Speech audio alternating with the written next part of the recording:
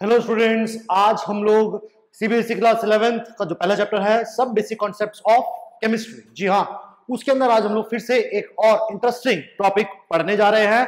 लेकिन उससे पहले, आप सभी स्टूडेंट्स आई एम श्योर अभी तक बोर हो चुके होंगे इतने सारे टॉपिक्स के बारे में पढ़ते पढ़ते तो क्यों ना आज का जो टॉपिक है स्टूडेंट्स को थोड़ा सा इंटरेस्टिंग बनाया जाए। इंटरेस्टिंग जैसे कि, जैसे मैं ये टॉपिक जो है आप लोगों का स्टूडेंट पहले से ही कंटिन्यूड फॉर्म का चलता आ रहा है।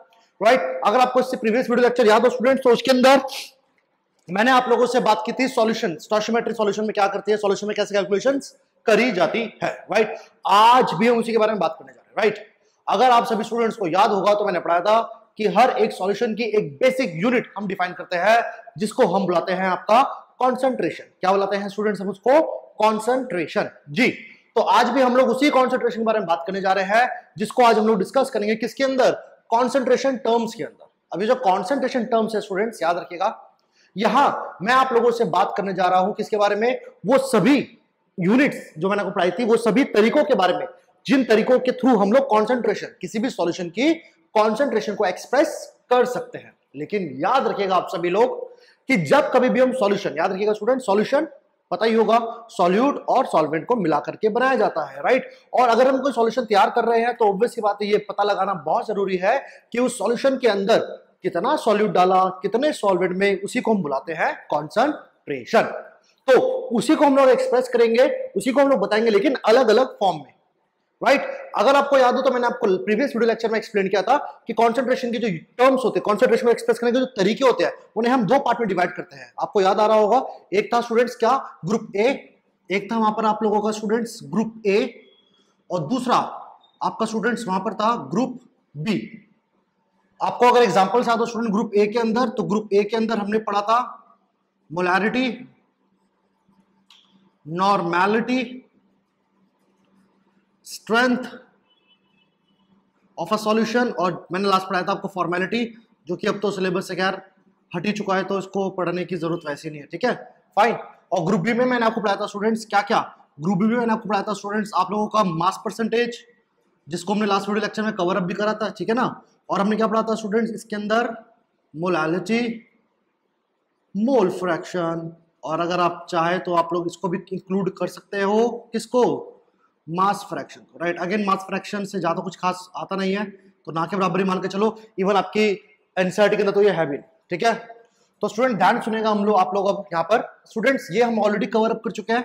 अगर आप याद हो तो उसके अंदर मैंने आपको तीन फॉर्म्स पढ़ाई थी student W by W W by V और लास्ट था हमारा स्टूडेंट्स के अंदर वी बाई वी राइट बिल्कुल, ये हमको नहीं पढ़ना, ये भी हमें सिलेबस में नहीं आने वाला स्टूडेंट्स याद रखिएगा राइट तो सिलेबस में स्टूडेंट्स आएगा क्या? तो ध्यान सुनेगा स्टूडेंट्स ये जो दोनों पार्ट्स है ना आपके, ये दोनों स्टूडेंट्स ये दोनों पार्ट आपके आईआईटी जेई मेंस और नीट के सेक्शन में आते हैं। ये एनसीईआरटी में इतने खास क्वेश्चंस के आते नहीं, ठीक है? लेकिन फ़िलहाल अभी हम लोग क्या बात कर रहे हैं? अभी हम फ़िलहाल उन टॉपिक्स पर फोकस कर रहे हैं जो आपके सीबीएसई क्लास इलेवंथ के एनसीआरटी में गिवन है ओके तो क्लास इलेवंथ के बेसिस पे स्टूडेंट्स आज हम कवर अप करने जा रहे हैं आपका मोलैरिटी जो कि ग्रुप ए के अंदर आता था, याद होगा आपको, और मोलालिटी और लास्ट हम लोग इसमें करेंगे आज स्टूडेंट्स मोल फ्रैक्शन क्या करेंगे? मोल फ्रैक्शन सो आज का ये वीडियो लेक्चर याद रखिएगा the core concept the core idea will remain same in सभी तरीकों से, इन सभी मेथड्स के साथ, हम बता एक ही चीज़ रहे होंगे स्टूडेंट और हम क्या बता रहे होंगे? हम बता रहे होंगे कॉन्सेंट्रेशन और कॉन्सेंट्रेशन टर्म का बोलने का मतलब क्या हुआ कि भैया कॉन्सेंट्रेशन को हम कितनी टर्म्स में, कितने फॉर्म में एक्सप्रेस कर सकते हैं तो ये सारे नाम मैंने आपको एक्सप्लेन करे थे। आई होप आप लोगों ने प्रीवियस वीडियो लेक्चर देखा होगा। जिन्होंने नहीं देखा, मैं सभी को एडवाइस करूँगा प्लीज़ जाए और इससे पहले वाला जो सॉल्यूशन का इंट्रोडक्शन वाला लेक्चर था, उसको जाकर प्लीज़ देखे। राइट तो चलिए फ़िलहाल, समझ आ चुका है कि आज का वीडियो लेक्चर किसके बारे में है? मोलारिटी के बारे में मोलालिटी के बारे में और आपके मोल फ्रैक्शन के बारे में राइट तो चलिए स्टूडेंट्स फ़िलहाल टाइम ना वेस्ट करते हुए आगे कंटिन्यू करते हैं और जानते हैं इन चीज़ों को कैसे स्टडी करा जाता है। ये मैं अभी कवर अप नहीं कर रहा, ये इसको हम कवर अप करेंगे एक अलग क्लास के अंदर फाइन ये हम कवर कर चुके हैं, ये कवर नहीं करना, ये कवर नहीं करना, ठीक है? चलिए हटा दिया जाए। चलिए तो स्टूडेंट्स अब जानते हैं हम लोग, सबसे पहले स्टार्ट करते हैं मोलैरिटी किसके साथ? मोलैरिटी मोलैरिटी आर फॉर रिटी राइट मोलैरिटी को पढ़ते हैं और जानते हैं मोलैरिटी क्या बोलती है। तो चलिए जानते हैं। मोलैरिटी जी हाँ नाम ये सुन रखा होगा आप सभी लोगों ने इलेवेंथ क्लास के अंदर। मोलैरिटी सिंबल इसका होता है कैपिटल एम और इस कैपिटल एम सिंबल को हम लोग प्रोनाउंस करते हैं मोलर जी हाँ इसको हम लोग बुलाते हैं molar molar stand for molarity जी। अब इस मोलैरिटी को देखिए, इसका फॉर्मूला आपको बुक्स वगैरह में मिल जाएगा, आपका स्कूल टीचर को पढ़ाएगा और ये ऐसी कोई चीज़ नहीं है जो आप पहली बार सुन रहे हो स्पेशली जो क्लास ट्वेल्थ के जो स्टूडेंट्स हैं। इसके डेफिनेशन में वो किताब मिल जाएगी, इसका फॉर्मूला भी आपको बुक्स में मिल जाएगा। लेकिन जो चीज़ कंसेप्ट के लिए समझना ज़्यादा ज़रूरी है। वो है इसका कंसेप्ट जी हाँ जी, जो चीज़ को समझने में सबसे ज़्यादा इंपॉर्टेंट है, वो है इसका कॉन्सेप्ट सो स्टूडेंट्स सबसे पहले हम लोग जानते हैं मोलैरिटी हमें क्या बताती है। या किसी भी सॉल्यूशन के अगर मान के चलो हमारे पास अगर मोलैरिटी हमको पता है if you already know what the molarity is तो हमें क्या किस तरीके की इंफॉर्मेशन मिल रही है उस पर्टिकुलर चीज़ से? सो मोलैरिटी समझने के लिए लेट्स कंसीडर एग्जांपल एक एग्ज़ाम्पल लेके चलते हैं। सो so, एग्जांपल में मैं क्या लेके चल रहा हूँ? लेट से कि हम एक सॉल्यूशन तैयार कर रहे हैं। सॉल्यूशन जैसे कि एनएसएल सॉल्यूशन लेट से तैयार कर रहे हैं। अब एनएसएल सॉल्यूशन कैसे होगा प्रिपेयर एनएसएल सॉल्यूशन के अंदर we have to add NaCl in water NaCl को वाटर में डाला और हमारा एनएसएल सॉल्यूशन तैयार हो गया। जी तो ध्यान सुनेगा स्टूडेंट्स ऑफ़ NaCl सॉल्यूशन को हम लोग डाल रहे हैं पानी के अंदर, लेकिन जब मैंने NaCl और वाटर को ऐड किया था उस टाइम पे, ध्यान दीजिएगा, उस टाइम पर हम लोगों ने ना ही तो एनएसएल का क्वांटिटी ऐड कैलकुलेट की थी और ना ही हमने वाटर कितना लेके चल रहे हैं हमने उसकी क्वांटिटी ऐड वो करी थी। क्या कहते हैं? क्वांटिफाई करी थी। जी सो यहाँ पर अब क्या हो रहा है कि अब हम लोगों ने क्या करा? सीधा स्ट्रेट है दोनों चीज़ों को आपस में मिक्सअप कर डाला है। उन दोनों चीज़ों को आपस में मिक्सअप कर डाला है। और अब मिक्स करने के बाद, ध्यान सुनेगा एनएचएल को पानी में डाला और सॉल्यूशन तैयार हो चुका है। अब उस सॉल्यूशन का one litre point to be noted अब उस सॉल्यूशन का वन लीटर वॉल्यूम मैं अलग से कैलकुलेट करके मेजर करके अलग कर लूँगा। अलग से मेजर करके इसका वन लीटर सॉल्यूशन को मैं अलग कर लूँगा। और अब एनएसीएल जब मैं वाटर में डाल रहा था, उस टाइम में मैंने कैलकुलेट नहीं किया था कि मैंने कितना एनएसीएल डाला। कितना पानी था, मुझे नहीं पता था। जितना सॉल्यूशन तैयार हुआ था, उसका मैंने एक लीटर ले लिया अलग से। और अब ध्यान सुनेगा स्टूडेंट्स जो बताना चाह रहा हूँ मैं, अब इस एक लीटर सॉल्यूशन में, याद रखेगा, अब इस एक लीटर सॉल्यूशन में जितने भी नंबर ऑफ़ मोल्स मिलेंगे, किसके? सॉल्यूट के।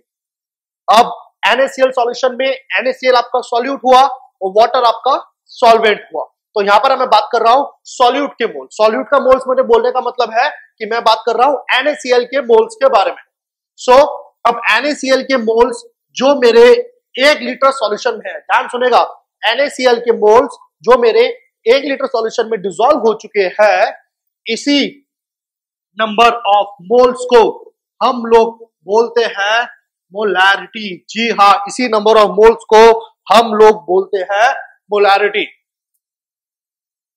केमिस्ट्री के अंदर जब मोलैरिटी जैसे कंसेप्ट को साइंटिस्ट लोग डिफाइन कर रहे थे, उस टाइम में उन लोगों ने ये फिक्स कर दिया था कि भैया जब मोलैरिटी डिफाइन होगी when we going to define the molarity तो वॉल्यूम जो लिया जाएगा सॉल्यूशन का वो एक लीटर लिया जाएगा। और सॉल्यूशन का ही वॉल्यूम लेंगे।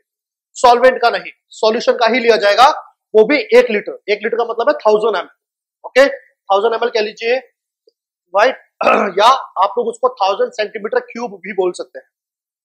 राइट वॉल्यूम कन्वर्जन कैसे कन्वर्ट करते हैं एक यूनिट को दूसरी यूनिट के अंदर, वो हम लोग लेटर ऑन चैप्टर में आगे डिस्कस करेंगे राइट लेकिन फ़िलहाल एक लीटर सॉल्यूशन के अंदर हमने डिजोल्व कर रखे थे नंबर ऑफ़ मोल्स जी हाँ यानी कि अब मैं यहाँ पर यह बोल सकता हूँ कि भैया, अगर हमें मोलैरिटी को पढ़ना है तो ये तो कंफर्म हो चुका है कि भैया सॉल्यूशन का वॉल्यूम तो एक लीटर है, इससे ज़्यादा नहीं होगा।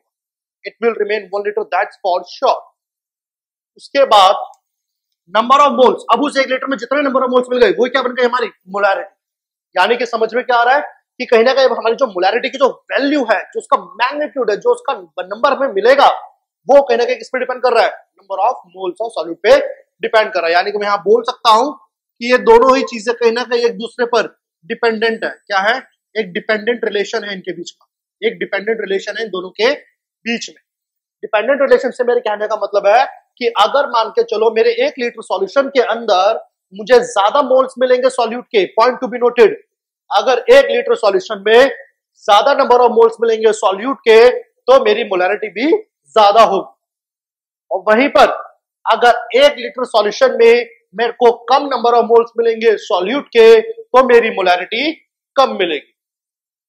तो यहाँ पर हम कहीं ना कहीं डायरेक्ट रिलेशन बोल सकते हैं किसके ऊपर? कि मोलैरिटी और नंबर ऑफ़ मोल्स एक दूसरे के ऊपर कहीं ना कहीं इनकी जो वैल्यू है, ये इसी को डिफाइन करता है। तो याद रखिएगा, अब अगर मैं इस पूरे कंसेप्ट को कंक्लूड करूँ, ध्यान सुनेगा अब अगर मैं पूरे कंसेप्ट को कंक्लूड करूँ तो कंक्लूजन से समझ में आ रहा है कि मोलैरिटी क्या होता है? It is defined as the number of moles of solute dissolve in one litre of solution और I can say thousand M of solution so now you can see students कि मोलैरिटी कहीं ना कहीं इस पर डिपेंड करती है। Moles ज़्यादा, मोलैरिटी ज़्यादा, मोल्स कम, मोलैरिटी कम, किसके अंदर? एक लीटर सॉल्यूशन। अब इस कंसेप्ट को थोड़ा सा और अच्छा बनाने के लिए थोड़ा सा इस पर और कमांड बनाने के लिए काम करते हैं, इसका एक और एग्जांपल लेके चलते हैं। अभी मैंने आपको ऊपर से नीचे लेकर आया था राइट पहले मैंने सॉल्यूशन को डिफाइन करा, फिर नंबर ऑफ़ मोल्स को, फिर मोलैरिटी को। अब एक काम करते हैं, इसका उल्टा चलते हैं लेट्स सी कि हमें क्या समझ में आ रहा है, या किस तरीके की इंफॉर्मेशन हमको उससे मिल पा रही है। ये समझते हैं। सो स्टूडेंट्स लेट्स कंसीडर एक सॉल्यूशन है, जिसकी आपको मोलैरिटी जी हाँ जिसकी आपको मोलैरिटी 0.5 एम 0.5 कैपिटल एम जी हाँ मोलर याद रखिएगा 0.5 कैपिटल एम को मोलर बोला जाता है। 0.5 एम मोलैरिटी ऑलरेडी गिवन है। So now, what do we understand by this? What do we understand by this 0.5 m? तो ये 0.5 m, correlation, अब नीचे से ऊपर जा रहा है। Now we have to move from bottom to top. तो बॉटम टू टॉप मुझे ये बोल रहा है कि भैया, जो भी मोलैरिटी होगी, मैं क्या बोल रहा है कंसेप्ट मोलैरिटी का? कि जो भी मोलैरिटी होगी, वो क्या बता रही होगी? कि भैया, जितनी भी मोलैरिटी है, इसका मतलब उतने ही क्या? नंबर ऑफ़ मोल्स क्या? उतने ही नंबर ऑफ़ मोल्स किसके? सॉल्यूट के। डिजॉल्व है किसके अंदर? एक लीटर सॉल्यूशन के अंदर। एक लीटर सॉल्यूशन के अंदर। So as you can see students कि 0.5 मोलैरिटी से मुझे दो चीज़ें अपने आप पता चल रही है। और वो दो चीज़ें क्या क्या है? मुझे इससे इतनी इंफॉर्मेशन मिल रही है कि 0.5 का मतलब है 0.5 मोल्स प्रेजेंट होंगे, किसके सॉल्यूट के किसमें प्रेजेंट होंगे? One litre and as I say कि भैया मोलैरिटी में ये जो चीज़ रहेगी, ये फिक्स रहेगी। It will never gonna change ये चीज़ फिक्स रहेगी, ये कभी बदलेगी नहीं। तो अगर मान के चलो मैं यहाँ point two five mole M लिखता मोलैरिटी लिखता ज़ीरो पॉइंट टू फाइव तो उसका मतलब क्या होता है? Zero point two five moles एक लीटर के अंदर। अगर मान लो मैं लिखता टू एम टू मोलैरिटी तो टू मोलैरिटी का मतलब क्या निकल आता कि दो मोल प्रेजेंट है किसके अंदर? एक लीटर के अंदर। तो सिंपल सा फंडामेंटल है कि भैया मोलैरिटी हमको ये बताती है कि कोई भी सॉल्यूशन अगर तैयार करा गया तो अगर हम उसका एक लीटर ले रहे हैं तो उस एक लीटर में कितने मोल्स मिलेंगे? मोल्स अगर कम मोलैरिटी कम। मोल्स अगर ज़्यादा तो मोलैरिटी भी ज़्यादा। याद रखिएगा, जो स्टूडेंट्स अपने पेन और रजिस्टर करके बैठे हुए हैं वो लिखना चाहे तो वो लिख सकते हैं मोलैरिटी की डेफिनेशन कि मोलैरिटी हमको बताती है the number of moles of solute present in one litre of solution एक लीटर सॉल्यूशन में कितने नंबर ऑफ़ मोल्स प्रेजेंट होंगे राइट चलिए, अब इसको आप लोग चाहे तो इस कंसेप्ट को आप लोग कॉपी कर लीजिएगा वीडियो को पॉज करके, क्योंकि फ़िलहाल मैं इसको रब करने जा रहा हूँ, क्योंकि रब करने के बाद हमें इसके आगे के और भी कंसेप्ट इसका मैथमेटिकल फॉर्म भी जानना होगा। जी so the next part we have here कि मैथमेटिकल फॉर्मूला मैथमेटिकल फॉर्मूला क्या होता है? मोलैरिटी का, इसको जानते हैं। सो मैथमेटिकली सो मैथमेटिकली अभी हमने जो डेफिनेशन पढ़ी अगर उसको हम फॉलो अप करें तो उसके according molarity that is capital M is your what do we call number of moles of solute, that is, and B upon volume of solution but किसमें लीटर में। याद रखिएगा वॉल्यूम तो लेना है सॉल्यूशन का बट किसमें लीटर में। अब जो स्टूडेंट्स ये वीडियो लेक्चर स्टेट अवे देख रहे हैं, पहले आकर के तो उन्हें बता देता हूँ। कि एक स्टैंडर्ड कन्वेंशन लेके चलते हैं हम लोग स्टूडेंट्स केमिस्ट्री में याद रखिएगा। Whenever we write a और वन याद रखिएगा whenever we write a और वन तो इस a और वन से मतलब होता है हमारा कि ये रिप्रेजेंट करता है हमारे सॉल्वेंट को। Whenever we write b और टू तो ये हमारा रिप्रेजेंट करता है किसको? सॉल्यूट को। ये हमारा रिप्रेजेंट करता है आपका सॉल्यूट को। राइट सो so, याद रखिएगा जो एन बी लिखा है एन होता है नंबर ऑफ़ मोल्स और बी स्टैंड फॉर किसके? मोल सॉल्यूट के मोल्स और यहाँ पे लेते हैं नंबर ऑफ़ मोल्स का वॉल्यूम ऑफ़ सॉल्यूशन लीटर्स के अंदर। सो अगर मैं नंबर ऑफ़ मोल्स का फॉर्मूला थोड़ा सा और ओपन करता हूँ दैट इज़ एन बी तो उसका फॉर्मूला होता है क्लास गिवन मास जिसको हम लोग अब से डब्ल्यू बी बनाएँगे अपॉन में मॉलिक्यूलर मास ये अपॉन में molecular mass that is M B तो ये होगा आपका W B that is the weight जो सॉलिड का वेट गिवन होगा वो होगा और उसको डिवाइड कर देंगे हम लोग मोलर मास ऑफ़ बी से दैट इज़ एम बी से उसको हम डिवाइड कर देंगे। Now the next part we have here is your volume जैसे कि स्टैंडर्ड डेफिनेशन जो है मोलारिटी की वो यही बोल रही है कि वॉल्यूम होना चाहिए लेकिन किसमें? लीटर्स में। सो so, याद रखेगा जो हमें वॉल्यूम ऑफ़ सॉल्यूशन जो होता है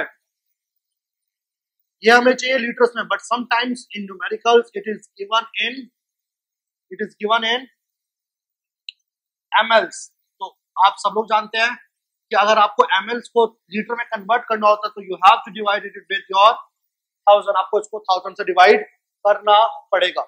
So as you can see कि यहाँ पर मेरे पास वॉल्यूम ऑफ़ सॉल्यूशन आ चुका है in terms of litre ML के टर्म्स में आ चुका है और नंबर ऑफ़ मोल का फॉर्मूला मेरे पास है। So as you can see अगर हम इन दोनों वैल्यूज़ को मोलारिटी का जो स्टैंडर्ड फॉर्मूला है, अगर उसमें पुट कर देते हैं तो मोलारिटी का फाइनल फॉर्मूला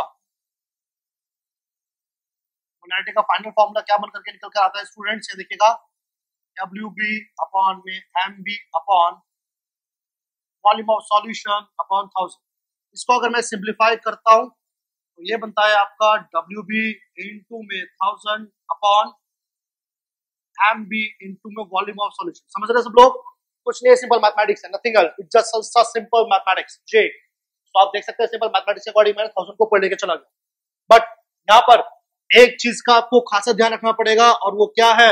और वो स्टूडेंट्स यही चीज़ है कि जो थाउज़ेंड लगा हुआ है ना इस फॉर्मुले में, ये थाउज़ेंड का यूनिट कन्वर्ट करने का पर्पस है। ये just use for the conversion of unit unit वो भी कैसे? कि ये आपके वॉल्यूम जो कि एमएल में था, उसको लीटर बना रहा है। क्योंकि कंडीशन ये कहती है कि वॉल्यूम लीटर में ही होना ज़रूरी है। और as you can see this is the formula for your what do we call molarity ये आपको फॉर्मूला बन जाता है मोलारिटी के लिए। Other than this as you can see कि अगर जो स्टैंडर्ड फॉर्मूला है मोलारिटी का, उसमें आप देख सकते हैं कि न्यूमिनेटर में हम लोग लेके चल रहे हैं मोल्स और डिनोमिनेटर में हम जो डिवाइड कर रहे हैं, उसको डिवाइड कर रहे हैं लीटर वॉल्यूम किसमें लीटर्स में। तो ऊपर है मोल्स नीचे आ गया लीटर तो याद रखिएगा स्टूडेंट्स की जो यूनिट होती है, वो होती है मोल्स पर लीटर पॉइंट ऑफ़ यूनिट होती है स्टूडेंट्स मोल्स पर लीटर सो यहाँ देख सकते हैं आप लोग this is the complete formula derivation for the molarity maximum question में हम लोग इस फॉर्मुले को यूज़ करेंगे। अगर मैं सीबीएसई की बात करूँ, लेकिन आईआईटी जे और नीट के अंदर we have to use the concept concept use करना आना चाहिए वहाँ पर। वहाँ पे फॉर्मुला पे बेस्ड क्वेश्चन कम आते हैं कंसेप्ट पर बेस्ड ज़्यादा आते हैं क्वेश्चन बेस्ड क्वेश्चन ज़्यादा आते हैं। तो याद रखिएगा, ये आपके सीबीएसई में तो हर जगह काम करेगा मैक्सिमम जगह पे। लेकिन अगर मैं जे नीट में, अगर जो लेवल जो थोड़ा सा हाई होना शुरू होता है एनालिसिस के अंदर तो वहाँ पर हमें इसकी बेसिक डेफिनेशन जो मैंने कंसेप्ट लाया था स्टार्टिंग में, उस पर हमें स्विच करना पड़ सकता है। लेकिन मैक्सिमम न्यूमेरिकल्स में आप चाहे तो यू कैन यूज़ इधर दिस फॉर्मूला और दिस वन ये दोनों में से आप कोई सा फॉर्मूला यूज़ कर सकते हैं मोलारिटी के लिए। Right so as you can see आप सब लोग चाहे तो वीडियो को पॉज करके इसे कॉपी कर सकते हैं। फाइन क्योंकि अब मैं इसको अगेन हटा करके मोलारिटी के ऊपर अब एक आधा क्वेश्चन देख लेते हैं। ये फॉर्मूला जो यहाँ पे लिखा हुआ है, इस फॉर्मूले को यहाँ पर हम लोग एज इट इज़ छोड़ देते हैं। और जानते हैं कि अब आगे कैसे चीज़ें और समझी और पढ़ी जाएगी। तो चलिए स्टूडेंट अब एक फॉर्मूला देखते हैं क्वेश्चन देखते हैं राइट और क्वेश्चन क्या बोलता है? क्वेश्चन देखते हैं। Let's say question let's say a solution of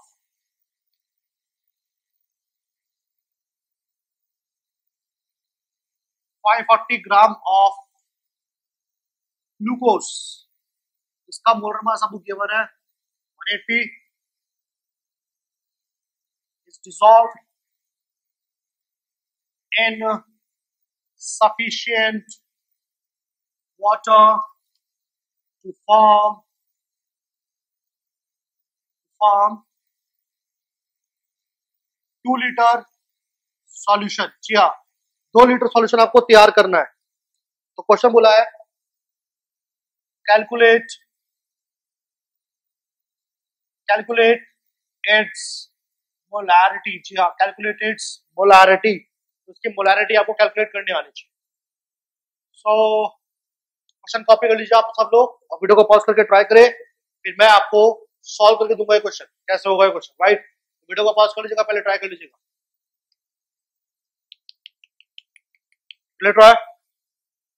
चलिए आगे देखते हैं। क्या होता है इस क्वेश्चन के अंदर? तो एज यू कैन सी इस बार हमें वॉल्यूम जो है स्टूडेंट्स दो लीटर में दिया हुआ है, आप देख सकते हो। और एज आई टोल्ड यू कि मान के चलो, अगर आपको वॉल्यूम लीटर्स में अगर दिया हुआ है then there is no need to use thousand in the formula students याद रखिएगा, मैंने बताया था कि थाउज़ेंड इसलिए लगा हुआ है ताकि आपका एम लीटर बन जाए। लेकिन अगर आपको ऑलरेडी थाउज़ेंड वॉल्यूम अगर लीटर में ही दे रखा है there is no need to put thousand this formula then हम लोग इस फॉर्मूले को सिंप्लीफाई करके ये लिख सकते हैं। Right so this is the formula we have है और एज यू कैन सी इस फॉर्मूले के अकॉर्डिंग हमको तीनों वैल्यूज़ गिवन है डब्ल्यू बी होता था वेट ऑफ़ सॉल्यूट और यहाँ पे सॉल्यूट क्या है? आपका ग्लूकोज कितना वेट है? 540 ग्राम मोलर मास सॉल्यूट का एमबी मोलर मास होता सॉल्यूट का, वो भी दे रखा है 180 ये भी दे रखा है। और एज यू कैन सी आपको वॉल्यूम भी दे रखा है। That is your what do we call कितना?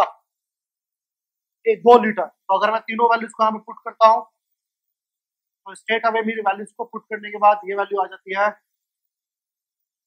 कितना 1.5 मोलारिटी इसको आप लोग याद रखिएगा। मोल्स पर लीटर भी लिख सकते हैं, याद रखिएगा स्टूडेंट्स मोल्स पर लीटर भी लिख सकते हैं इसे हम। As you can see students की स्टेट अवे आप देख सकते हैं मोलारिटी पे ऐसे न्यूमेरिकल आपको बहुत देखने को मिल सकता है सीबीएसई के अंदर। लेकिन इसका थोड़ा सा और एक हाई वर्जन क्वेश्चन आ जाता है। चलिए समझते हैं वो कैसे आता है। कॉपी कर ले सब लोगों ने। भाई इजी था क्वेश्चन था, कुछ भी था ये तो। राइट अभी और आगे इससे अच्छा अच्छा न्यूमेरिकल आपको देखने को मिलेंगे मोलारिटी को राइट हटा दे जाए इसे। चलिए।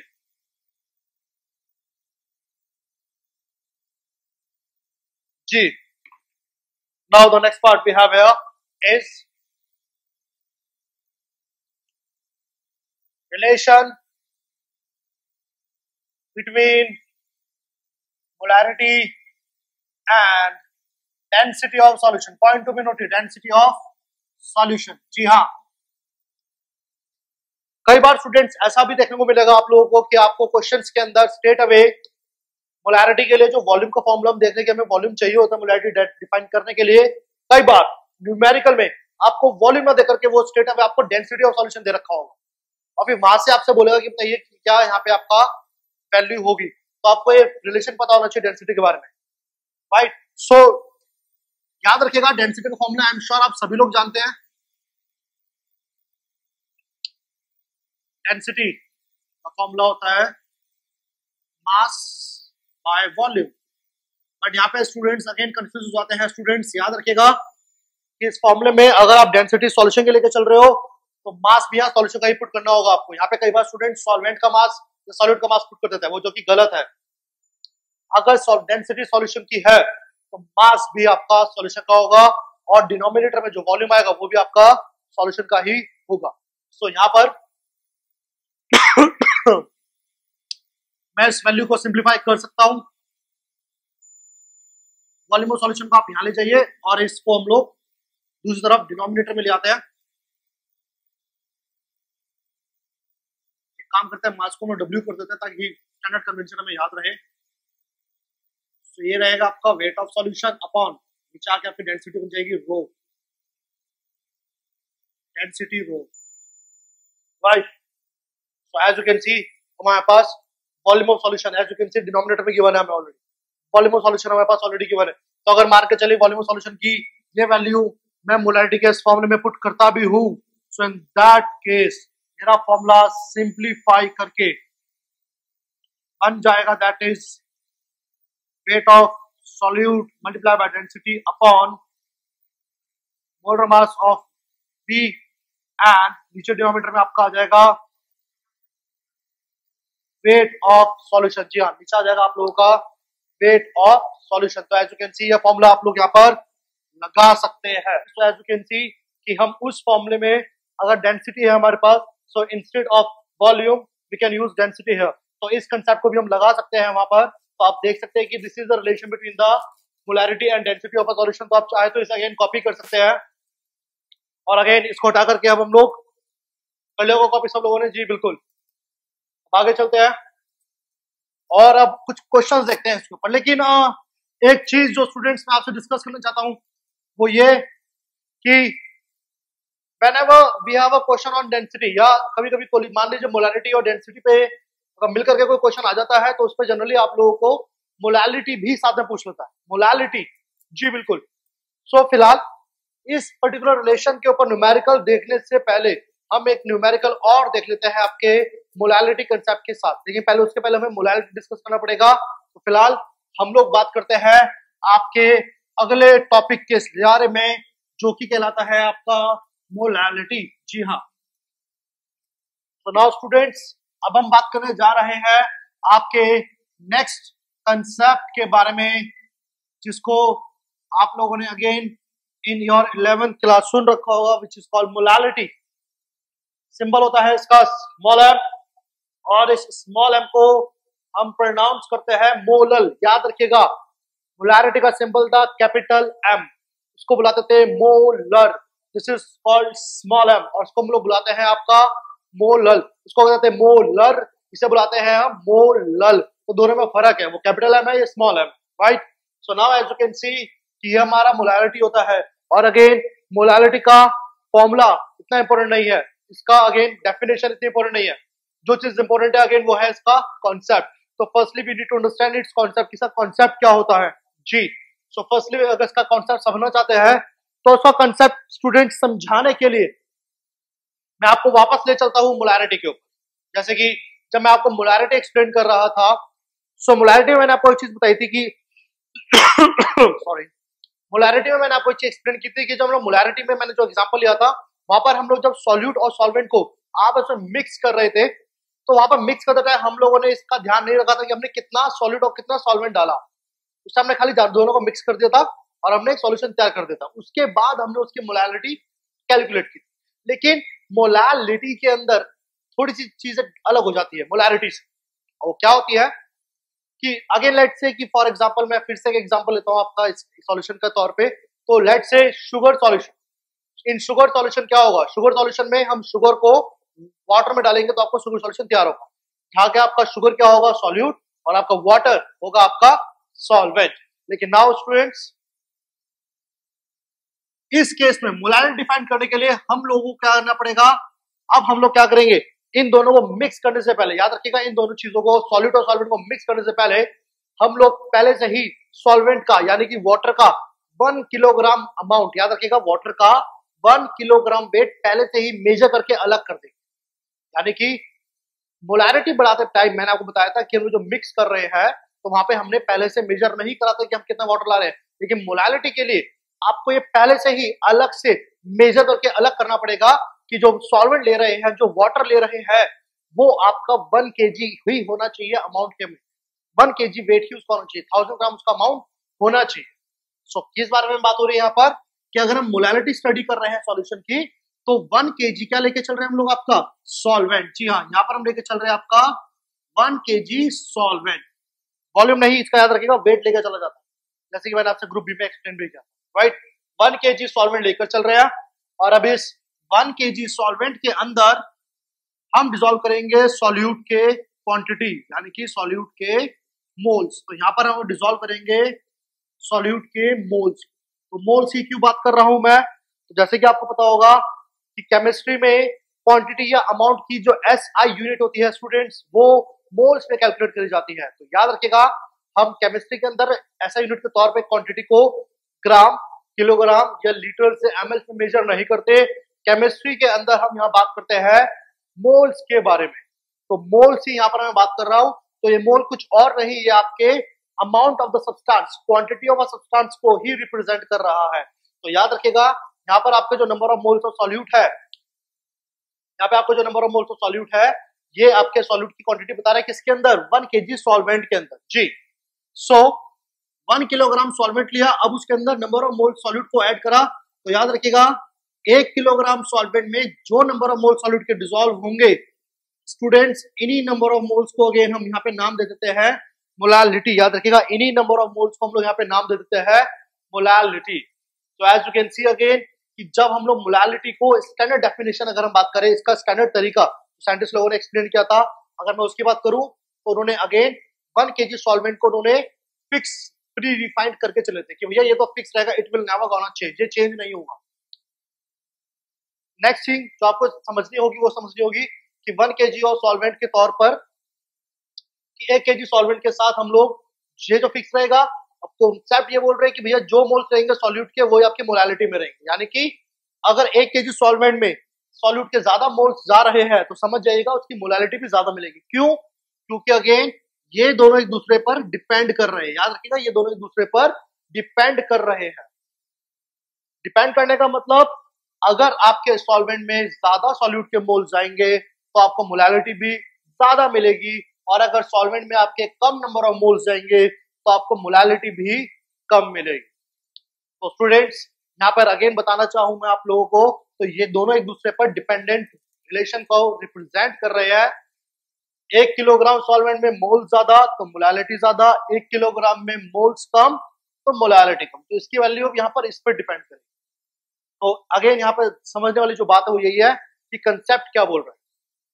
अगर आप सब लोग रजिस्टर पेन वगैरह रख करके बैठे हुए हैं तो आप यहाँ पर अभी इसको लिख लीजिएगा जो मैं बोलने जा रहा हूँ आप डेफिनेशन ऑफ़ मोलालिटी क्या बनती है? तो डेफिनेशन मोलालिटी क्या होती है?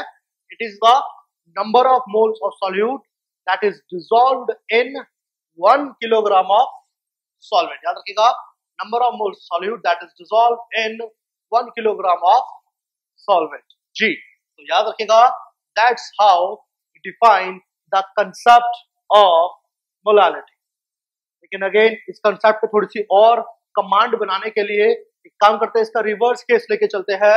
यानी कि अगेन अभी हम ऊपर से नीचे आए थे, अब हमें काम करेंगे, हम लोग नीचे से ऊपर की तरफ़ चलते हैं और स्टडी करते हैं कि क्या होता है right so let say again कि एक सॉल्यूशन था जिसकी मोलालिटी 1.25 स्मॉल एम याद रखिएगा ये स्मॉल एम 1.25 स्मॉल एम है। जी। So now what do we understand by this तो स्टूडेंट्स अगेन इसका कंसेप्ट समझने के लिए आपको थोड़ा सा आगे चलना पड़ेगा। आपको इस कंसेप्ट को इसके अकॉर्डिंग समझना पड़ेगा। सो so, कंसेप्ट बोलता है कि जो मोलालिटी होगी वही क्या होंगे आपके? नंबर ऑफ़ मोल्स क्यों होंगे? क्योंकि भैया ये दोनों एक दूसरे पर डिपेंड कर रहे हैं। तो ये दोनों एक दूसरे पर डिपेंड कर रहे हैं। बिल्कुल सही। So now what gonna happen कि 1.25 मोलालिटी मुझे बता रही है कि 1.25 मोल्स किसके? सॉल्यूट के। प्रेजेंट हो गए किसके अंदर? One K G of solvent के अंदर। Point to be noted one K G of solvent के अंदर। तो एज यू कैन सी कि ये जो वैल्यू है वन के जी सॉल्वेंट जो है वो फिक्स रहेगा, ये प्री डिफाइंड रहेगा कि भैया वन के जी या थाउज़ेंड ग्राम ही लेके हमें चलना है। और as I have told you कि जो मोलालिटी होगी, उतने ही नंबर ऑफ़ मोल डिजोल्व होंगे किसमें? वन किलोग्राम में। जैसे मैंने बताया था, दोनों चीज़ें डिपेंड कर रही है दूसरे के ऊपर। जी। तो अगेन यहाँ पर आप समझ सकते हो कि मान के चले, कभी भी आप आईडीजे या नीट में कोई क्वेश्चन अटेम्प्ट कर रहे हो and you find a molality then you have to use its standard definition जो ये बोलता है कि भैया मोलालिटी का मतलब कुछ नहीं मोलालिटी का सिर्फ़ इतना मतलब है कि इतने ही मोल्स डिजोल्व होंगे किसमें? वन किलोग्राम में। तो आप समझ सकते हो कि इस पर्टिकुलर चीज़ से आपको दो इंफॉर्मेशन अगेन बहुत यूजफुल इंफॉर्मेशन मिल जाती है। पहला सॉल्यूट के आपको मोल्स मिल जाते हैं स्टेट अवे और दूसरा, आपको सॉल्वेंट की क्वांटिटी भी वन किलोग्राम सॉल्वेंट की क्वांटिटी भी आपको मिल जाती है। So as you can see this is how we define the concept of molality अगर अब आप लोग चाहे तो इसे आप कॉपी कर लीजिएगा वीडियो पॉज करके। फाइन तो क्या मैं इसको थोड़ी देर में रब करने जा रहा हूँ तो फिर इसे कॉपी कर लीजिएगा आप सब लोग। जी। कॉपी, हटा दे। चलिए, हम इसको हटा देते हैं हम लोग। नाउ अब आते हैं स्टूडेंट्स मोलालिटी के मैथमेटिकल फॉर्मूले के ऊपर। जी हाँ अब आते हैं मोलालिटी के मैथमेटिकल फॉर्मूले के ऊपर। फॉर्मूला क्या होता है इसका देखिएगा। फॉर्मूला डिफाइन करने के लिए हमें इसकी जो डेफिनेशन थी, जो स्टैंडर्ड डेफिनेशन थी मोलालिटी की हमें वो यूज़ करनी होगी। तो इसकी स्टैंडर्ड डेफिनेशन क्या बोलती है? सो so, अगर मैं स्टैंडर्ड डेफिनेशन की बात करूँ मोलालिटी की तो मोलालिटी होता है m it's a symbol. It is your number of moles of solute. Symbol इसका होता है बी अपॉन में वेट ऑफ़ सॉल्यूशन नहीं लेंगे इस बार याद रखिएगा।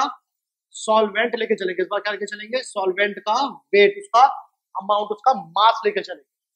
और जैसे कि आप सभी लोग जानते हैं नंबर ऑफ़ मोल्स का जो फॉर्मूला होता है, वो होता है given mass of the substance that is weight of solute upon में molecular mass जी हाँ अपॉन में molecular mass MB ये आपका होता है नंबर ऑफ़ मोल्स का फॉर्मूला और एज आई टोल्ड यू ये जो वेट होना चाहिए, ये आपका केजीज में होना चाहिए। याद रखिएगा कंडीशन यही है कि that weight has to be in kilograms जैसे मोलालिटी के टाइम मोलारिटी के टाइम पर भी हमने जो वॉल्यूम लिया था, वो किसमें लिया था? लीटर से लिया था। कंडीशन थी कि वॉल्यूम लीटर में ही होना चाहिए।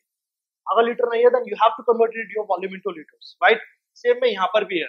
कि यहाँ पे आपका जो वेट होना चाहिए, जो अमाउंट होना चाहिए, वो किलोग्राम में ही होना चाहिए। So after this we have here what do we call इसके बाद हमारे पास जो आ जाता है कि मान के चलिए अगर हम वेट ऑफ़ सॉल्वेंट लेके चलते हैं। किलोग्राम के अंदर तो याद रखिएगा, कई बार आपको स्टैंडर्ड सिंबल ए होता है, याद रखिएगा, जो स्टूडेंट भूल गए उन्हें बता देता हूँ। बी का मतलब होता है सॉल्यूट और ए का मतलब होता है आपका सॉल्वेंट जी हाँ तो यहाँ पर वेट ऑफ़ सॉल्वेंट लेके चल रहा हूँ। Right so weight of solvent KG में अगर लेके चले हम लोग तो समटाइम्स आपको जो वेट ऑफ़ सॉल्वेंट होता है वो ग्राम में दे रखा होता है। और ग्राम को थाउज़ेंड लाने के लिए you have to divide into divided by thousand है right so as you can see ये आपकी न्यूमिनेटर ये आपकी डिनोमिनेटर टर्म है फॉर्मुले के अकॉर्डिंग और ये जो नंबर ऑफ़ मोल्स है आपके, ये आपके न्यूमिनेटर वाली टर्म आ जाती है। राइट तो एक काम करता है डिनोमिनेटर और न्यूमिनेटर इन दोनों को मैं मोलालिटी के स्टैंडर्ड फॉर्मुले में पुट कर देता हूँ। तो जो फाइनल फॉर्मूला मोलालिटी का मुझे देखने को मिलेगा that would be something like this जिसको अगर मैं सिंप्लीफाई करूँ तो सिंप्लीफाई करके ये फॉर्मूला आपका बन जाता है समथिंग लाइक दिस और अगेन इस फॉर्मूले में आपको एक चीज़ का खासा ध्यान रखना पड़ेगा स्टूडेंट्स कि क्या कि ये जो फॉर्मूला हमने बनाया है, ये फॉर्मूले में जो थाउज़ेंड लगा हुआ है, ये थाउज़ेंड आपका सिर्फ़ यूनिट कन्वर्जन किसकी यूनिट सॉल्वेंट के वेट को किलोग्राम बनाने के लिए यूज़ करा जा रहा है। अगर आपको वेट ऑलरेडी केजीस में दे रखा है यहाँ पर तो आपको यहाँ पे थाउज़ेंड फुट करने की ज़रूरत नहीं पड़ेगी। अब जो एक्चुअल फॉर्मुला मोलालिटी का यू कैन सी है कि ऊपर तो हमने न्यूमिनेटर में लिखे मोल्स और डिनोमिनेटर में क्या लिखा हुआ है? Amount that is weight in KG तो न्यूमिनेटर में है मोल्स डिनोमिनेटर में है केजी तो याद रखेगा इसकी जो ऐसा यूनिट होती है, वो होती है मोल्स पर केजी याद रखेगा इसकी जो ऐसा यूनिट होती है स्टूडेंट्स वो होती है मोल्स पर केजी अब एक चीज़ और थोड़ा सा दिमाग में क्लैरिफाई करने के लिए काम करते हैं। ये फॉर्मूला लगभग लगभग आप लोगों का मोलारिटी जैसा ही आपको दिख रहा होगा। लेकिन अगेन अगर मैं मोलारिटी के फॉर्मूले की बात करूँ तो वो होता था कुछ ऐसा। उसके अंदर हम लोग इंस्टेड ऑफ़ वेट की ना बात करके वहाँ पर हम वॉल्यूम लेते थे। So the major difference between molality and your molarity here is कि यहाँ पर हम बात कर रहे हैं वेट वो भी किसका वेट? सॉल्वेंट का वेट। किसी और का नहीं, सॉल्वेंट का वेट लिया जा रहा है। जबकि यहाँ पर हम बात कर रहे हैं किसके बारे में? हम यहाँ बात कर रहे हैं वॉल्यूम ऑफ़ सॉल्यूशन के बारे में। यहाँ हम बात कर रहे हैं वॉल्यूम ऑफ़ सॉल्यूशन के बारे में। राइट तो याद रखिएगा this is how we define molarity और this is how we define molality अब आप चाहे तो वीडियो पॉज करके कॉपी कर लीजिएगा इसको हम रब कर देंगे। जी।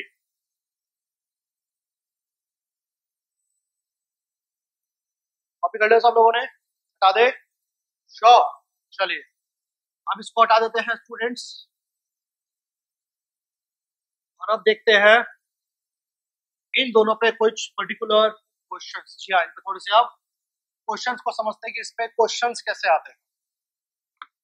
फाइन सो क्वेश्चन समझने के लिए so, now question says here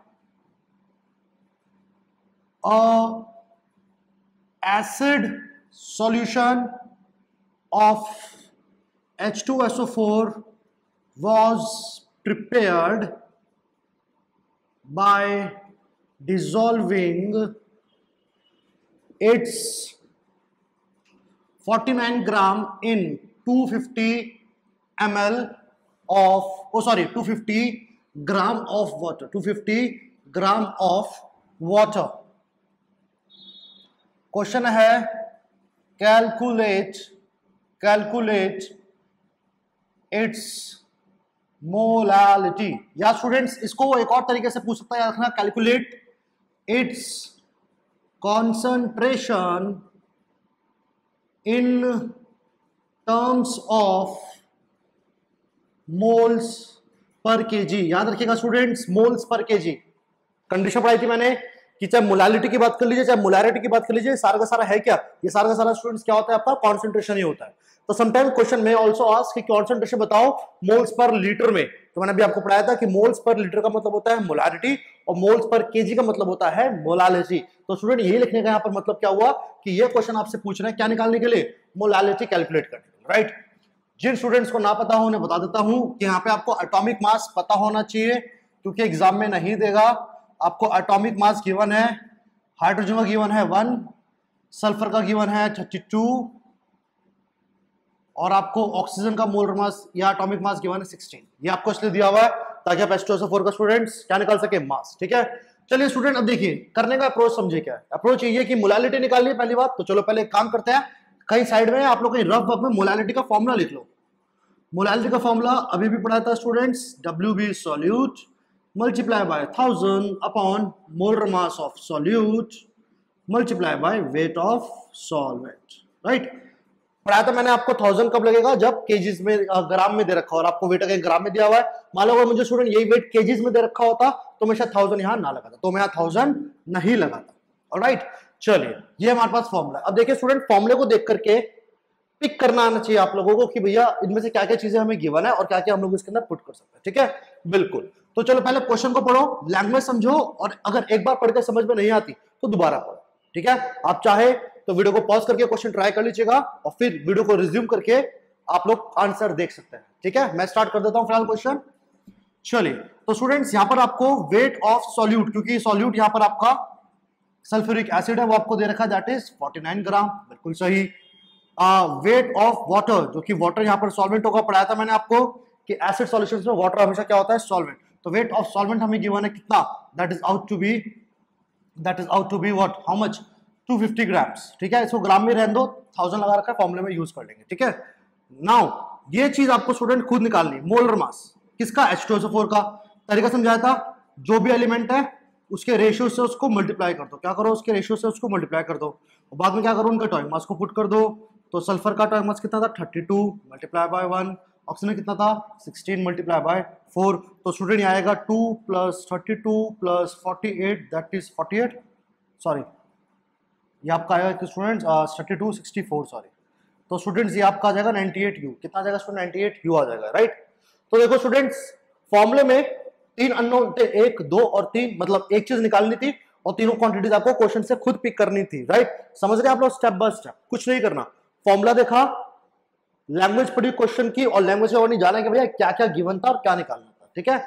फॉर्मुले के अकॉर्डिंग ये भी अब आपके पास आ चुका है, ये भी आ चुका है, ये भी आ चुका है और ये तो आपको निकालना था। तो सब कुछ गिवन है, एक अननोन क्वांटिटी पुट कर देते हैं राइट पुट कर देते हैं, देखते क्या आएगा। तो फाइनली स्टूडेंट्स मोलालिटी कितनी बनेगी यहाँ पे आपके लोगों की अब? Molality is out to be how much 49 multiply by thousand upon 98 multiply by 250 ये गया 4 से ये गया टू से, ये गया टू से। क्या आ गया आपका स्टूडेंट 2 बट याद रखिएगा यूनिट्स के मार्क्स होते हैं। आई रिपीट यूनिट के मार्क्स होते हैं। आंसर लिखने के बाद यूनिट मत लिखना भूलेगा यूनिट है आपके students two moles per KG क्या यूनिट है स्टूडेंट्स आप लोगों की? Two moles per KG right तो सबको समझ में आता है इतनी बात? सभी को? हटा दिया जाए इसको स्टूडेंट्स अब हम लोग। हटा दे इसको स्टूडेंट्स चलिए हटा के इस न्यूमेरिकल को। अब अगला टर्म समझते हैं स्टूडेंट्स मोल फ्रैक्शन ठीक है?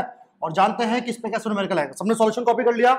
समझ में आ रहा होगा, नहीं समझ आ रहा, कोई बात नहीं धीरे धीरे समझेंगे अप्रोच डेवलप करेंगे फाइन चलिए। चलिए स्टूडेंट्स अब आगे देखते हैं हम लोग कि और कौन कौन से टर्म्स हम कौन से टर्म में पढ़ सकते हैं। सो अब मैं आपकी ग्रुप बी ग्रुप ए में से मोलालिटी और ग्रुप बी में से जहाँ पर हम वेट या मास की बात करते हैं, वहाँ से हम लोग मोलालिटी को कवर कर चुके हैं। So next term which we're going to discuss here is your, what do we call? Mole fraction. जी हाँ अब नेक्स्ट टर्म हम जो डिस्कस कर रहे हैं वो हम डिस्कस कर रहे हैं मोल फ्रैक्शन सिंबल इसका जीटा होता है राइट और इसको क्या होता है देखिए फ्रैक्शन वर्ड ये जो फ्रैक्शन वर्ड है इसका मतलब होता है रेशियो अब रेशियो मतलब यहाँ पर ये नहीं मैं mathematical p by q form की बात नहीं कर रहा रेशियो का मतलब होता है a part of something a part of something का मतलब है कि अगर इसका हम लोग प्रैक्टिकल सिग्निफिकेंस जाने तो प्रैक्टिकल हमको ये, ये बता रहा है कि भैया पूरे का कुछ हिस्सा जैसे कि अगर हम कोई सॉल्यूशन तैयार करते हैं तो सॉल्यूशन किससे मिलकर बनता है? आपके सॉल्वेंट और सॉल्यूट से मिलकर। सॉल्यूशन बनता है सॉल्वेंट और सॉल्यूट से मिलकर। सो यानी कि पूरे सॉल्यूशन में कुछ पार्टिकल्स सॉल्वेंट्स के होंगे और कुछ पार्टिकल्स आपके सॉल्यूट के भी देखे जाएँगे। जी हाँ। तो इन दोनों के ही पार्टिकल्स आपको सॉल्यूशन में देखने को मिलेंगे। सो सेम वे अगर मैं मान के चलो मोल फ्रैक्शन की बात करूँ सॉल्यूशन के कंसेप्ट के साथ सॉल्यूशन पे लगाओ अगर मैं मोल फ्रैक्शन का कंसेप्ट तो ये ये समझ में आएगा कि पूरे सॉल्यूशन में से, ध्यान सुनेगा, पूरे सॉल्यूशन में से कितना हिस्सा सॉल्यूट ने लिया है और कितना हिस्सा सॉल्यूट ने लिया है। याद रखिएगा how much part is occupied by solvent and how much part is occupied by solute ये हमको बताता है मोल फ्रैक्शन इसका मैं एक और एग्जांपल देता हूँ. लेट्स से स्टूडेंट्स ये मार्कर आप लोग देख रहे हैं सामने. अगर मैं इस मार्कर की कैप आपके सामने अलग कर देता हूँ तो मैं ये बोल सकता हूँ कि कैप जो है, ये इस मार्कर का फ्रैक्शनल पार्ट है. इसका कुछ हिस्सा है. जब मैं इस कैप को इस मार्कर में पूरा लगा दूँगा तो ये मार्कर आपका पूरा हो जाता है. सेम वे अगर मैं इस कैप मार्कर का बॉडी कवर रिफिल कैप सब अलग कर देता हूँ तो उन सभी को हम बोल सकते हैं कि these all are your fractional parts ये सभी के सभी आपके फ्रैक्शनल पार्ट्स हैं। लेकिन अगेन जब इन सबको जोड़ दोगे तो आपको कंप्लीट एक सिंगल बॉडी मिल जाएगी। तो में सिंगल यूनिट मिल जाएगी, एक सिंगल पर्टिकुलर बॉडी तो सेम फंडामेंटल आपका मोल फ्रैक्शन का भी होता है। तो मोल फ्रैक्शन याद रखिए किसी भी सॉल्यूशन का मोल फ्रैक्शन से हमें प्रैक्टिकल क्या इंफॉर्मेशन मिल रही है? देखिए, ऐसा कंसेप्ट जानना ज़रूरी है।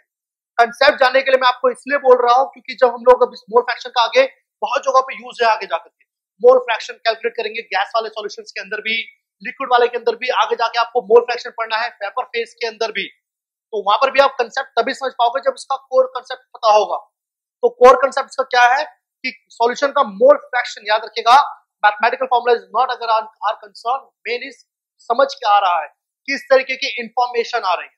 तो याद रखेगा मोल फ्रैक्शन हमें बताता है कि अगर कोई सॉल्यूशन तैयार करा गया, ध्यान सुनेगा, अगर कोई सॉल्यूशन तैयार करा गया तो सॉल्यूशन के अंदर कितने पार्टिकल्स या कितना हिस्सा सॉल्यूट ने ले लिया और कितना हिस्सा सॉल्वेंट ने ले लिया। अब जैसे कि मान के चले कोई सॉल्यूशन है, जिसमें हमने तीन चीज़ों को आपस में मिक्स किया हुआ है। तीन चीज़ों को लाइट से हमने आपस में मिक्स किया हुआ है। सो क्या होगा? उस सॉल्यूशन में मोल फ्रैक्शन इसका बी का और सी का ए बी और सी तीनों का मोल फ्रैक्शन अलग अलग कैलकुलेट हो सकता है। और उस मोल फ्रैक्शन से हमें क्या समझ में नहीं आएगा? हमें किस तरीके की इंफॉर्मेशन मिलेगी? उससे हमको समझ में आएगा कि भैया उस सॉल्यूशन में कितना हिस्सा सॉल्यूट ए ने या सब्सटेंस ए ने ऑक्युपाई कर रखा है, कितना हिस्सा बी ने ऑक्युपाई कर रखा है और कितना हिस्सा सी ने ऑक्युपाई कर रखा है। ये इंफॉर्मेशन ये सिग्निफिकेंस ये प्रैक्टिकल सिग्निफिकेंस होता है आपके मोल फ्रैक्शन मैथमेटिकल जैसा आप लोग देख ही रहे हैं कि फ्रैक्शन का मतलब होता है रेशियो और आप देख सकते हो कि यहाँ पे लिखा हुआ है मोल तो अगर मोल और रेशियो दोनों शब्दों को मिलाकर के समझू तो समझ में आ रहा है कि हम बात हो रही किसके बारे में? यहाँ पर हम बात कर रहे हैं रेशियो ऑफ़ मोल्स के बारे में मोल्स का रेशियो ले जाएगा। अब मोल्स का रेशियो लेने से मतलब क्या हुआ? मोल्स का रेशियो लेने से मतलब है कि तुम जिन चीज़ों को मिलाकर के मिक्सचर तैयार कर रहे हो जिन चीज़ों को मिलाकर के सॉल्यूशन तैयार हो रहा है उन्हीं के मोल्स का रेशियो सो so, कुछ नहीं है ये it just a ratio of moles किसके मोल्स सॉल्वेंट के भी मोल्स हो सकते हैं सॉल्यूट के भी मोल्स सकते हैं और अगर तीन चीज़ें हो तो तीनों सब्सटेंस के इंडिविजुअल मोल्स भी हो सकते हैं। राइट तो याद रखिएगा it is just a ratio of moles और जैसे कि मैंने बताया कि अगर मैं सॉल्यूशंस की बात करता हूँ, ये एबीसी वाला किस्सा हटा देते हैं फ़िलहाल। सिंपल ए और बी की अगर मैं बात करूँ तो क्या होता है? तो यहाँ देखिए student so mathematically ratio of moles को लेने के लिए या मोल फ्रैक्शन लेने के लिए क्या करना होता है? मोल फ्रैक्शन लेने के लिए, जैसे मैंने बताया कि आप लोग चाहे तो सॉल्यूट का भी मोल फ्रैक्शन निकाल सकते हैं और चाहे तो सॉल्वेंट का भी मोल फ्रैक्शन कैलकुलेट करा जा सकता है। पर अगेन, याद रखिएगा, चाहे आप सॉल्यूट का मोल फ्रैक्शन निकाले, चाहे आप सॉल्वेंट का मोल फ्रैक्शन निकाले, कैलकुलेट करने का तरीका सेम रहने वाला कैसे? रेशियो लेना है हमें मोल्स का, बिल्कुल सही। तो रेशियो कैसे लेंगे? जिसका भी आप मोल फ्रैक्शन निकाल रहे हैं स्टूडेंट याद रखिएगा, हमेशा आपको उसके मोल्स उस सब्सटेंस के मोल्स न्यूमिनेटर में रखे जाएँगे। अगर आप सॉल्यूट का मोल फ्रैक्शन निकाल रहे हैं then you have to put the moles of solute in numerator अगर आप सॉल्वेंट का मोल फ्रैक्शन निकाल रहे हैं then you have to put number of moles of solvent in numerator और इसको हम लोग डिवाइड कर देंगे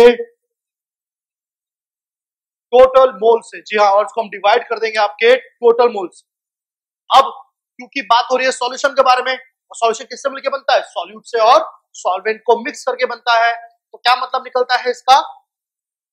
कि students solution A plus B का यहाँ पर क्या मतलब निकलता है? इसका यहाँ पर यह मतलब निकलता है कि टोटल मोल्स यानी सॉल्यूशन के टोटल मोल्स अगर चाहिए तो उसके लिए सिंपली क्या करना पड़ेगा? सिंपली आपको सॉल्वेंट और सॉल्व्यूट के मोल्स को भी ऐड करना पड़ेगा। क्यों? क्योंकि सॉल्यूशन इन दोनों से ही मिलकर बनाया गया है। तो यहाँ पर जो टोटल मोल्स ऑफ़ सॉल्यूशन है, वो बेसिकली आपको कैसे मिलेंगे? वो आपको मिलेंगे सॉल्यूट के मोल्स और सॉल्वेंट के मोल्स को ऐड करके। इन दोनों के मोल्स को अगर हम ऐड कर दे तो हमको मिल जाते हैं सॉल्यूशन के टोटल मोल्स टोटल मोल्स जी हाँ। लेकिन अगे basic approach basic fundamental remain से। बेसिक चीज़ जो वो यही कह रही है कि भैया जिसका मोल फ्रैक्शन निकाल रहे हो, उसके मोल्स सुपर सॉल्यूट का मोल फ्रैक्शन निकाला, सॉल्यूट का मोल सुपर, सॉल्वेंट का मोल फ्रैक्शन निकाला, सॉल्वेंट का मोल सुपर। और डिवाइड कर देंगे टोटल से यानी कि जो डिनोमिनेटर टर्म है as you can see the denominator will remain same दोनों में ही डिनोमिनेटर सेम रहेगा। चाहे सॉल्वेंट के निकालो मोल फ्रैक्शन या सॉल्यूट के, बस फ़र्क है तो किस चीज़ का? न्यूमिनेटर टर्म का। चलिए, अभी तो मैं आपको सॉल्यूशन के कंटेक्स्ट में एक्सप्लेन कर रहा हूँ मोल फ्रैक्शन। लेट से कई बार आप क्वेश्चन सॉल्व कर रहे हो और किसी भी चीज़ का, अगर आपसे बोल दिया मोल फ्रैक्शन निकालो, या मास फ्रैक्शन निकालो। Mole fraction mass fraction same ही चीज़ होती है। बस जहाँ पे अभी हम मोल्स में कैलकुलेशन कर रहे हैं, उसी जगह अगर आप वेट को पुट करना शुरू कर दो उसकी जगह अगर आप मास को पुट करना शुरू कर दो तो उसी को हम लोग नया नाम दे देंगे मास फ्रैक्शन जो कि मैंने लिखा भी था लास्ट वीडियो लेक्चर के अंदर। जी। तो क्या होता है ये? कि याद रखिएगा कि जिसके भी मोल्स आपको देने हैं, उसके मोल्स ऊपर और जिसके मोल निकाले उसके नीचे। और अगर मान के चलो आपको कभी क्वेश्चन बोला गया किसी का भी मोल फ्रैक्शन निकालना है सिंपल स्ट्रेट अवे तरीके में तो फंडामेंटल कंसेप्ट दिमाग में रखिएगा। कुछ नहीं करना फॉर्मुला रटना नहीं है हमें। याद रखेगा फॉर्मुला नहीं रटना। फॉर्मुला रटने के लिए किताबें बहुत है। हमें समझना है तो कंसेप्ट समझना है इस वीडियो लेक्चर के थ्रू कंसेप्ट ये बोलता है कि भैया, जिसका भी मोल फ्रैक्शन निकालो, चाहे वो सॉल्यूट है या सॉल्वेंट फ़र्क नहीं पड़ता। जिसका भी मोल फ्रैक्शन निकालने हैं भैया, एक चीज़ क्लियर है दिमाग में कि न्यूमिनेटर में उसी के मोल हैं। सॉल्यूट का निकालो, या मान लो कोई सब्सटेंस ए है, उसके मोल फ्रैक्शन निकाल रहे तो उसके मोल्स ऊपर रखे। मान लो कोई सब्सटेंस बी है, उसके मोल फ्रैक्शन निकाले तो उसके मोल्स ऊपर रखे और डिवाइड कर दो टोटल से। जैसे कि लेट से अगर हम लोग A plus B plus C का अगर मोल फ्रैक्शन निकाल रहे हैं तो लेट से अगर आप मोल फ्रैक्शन सी का निकाल रहे हो तो आपको सी के मोल्स रखने पड़ेंगे न्यूमिनेटर में, और उसको आप डिवाइड कर देंगे टोटल अब टोटल तीनों से मिलकर बना हुआ है तो टोटल के लिए क्या करेंगे? And number of moles of A number of moles of B number of moles of C ये तरीका में अप्लाई करना है हर जगह। याद रखिएगा, आप लोगों का जो बेसिक फंडामेंटल अप्रोच रहेगी मोल फ्रैक्शन के लिए इट विल रिमेन से समझ आ रहा होगा सभी को? जी बिल्कुल। राइट तो इसे कॉपी कर लीजिएगा। और इसके अलावा स्टूडेंट्स एक और चीज़ बताना चाहूँ। अगर आप इन दोनों मैथमेटिकल टर्म को ऐड करते हैं, याद रखिएगा, अगर आप इन दोनों मैथमेटिकल टर्म को ऐड करते हैं तो इन दैट केस याद रखिएगा सॉल्यूट का मोल फ्रैक्शन और सॉल्वेंट का मोल फ्रैक्शन किसके इक्वल होता है हमेशा याद रखिएगा?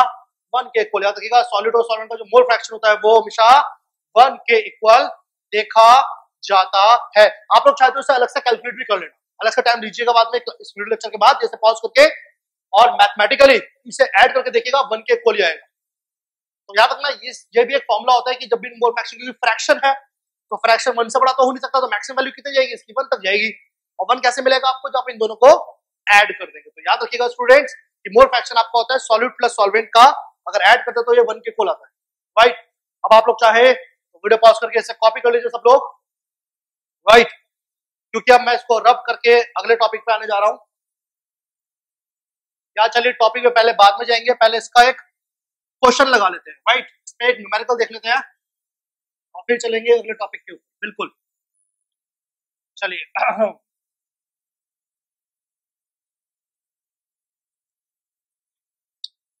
नाउ क्वेश्चन लगाते हैं स्टूडेंट्स की, कैसा होता है इस पे? क्वेश्चन अगर आता है मोल फ्रैक्शन पे, जी। चलिए क्वेश्चन देखते हैं। क्वेश्चन है।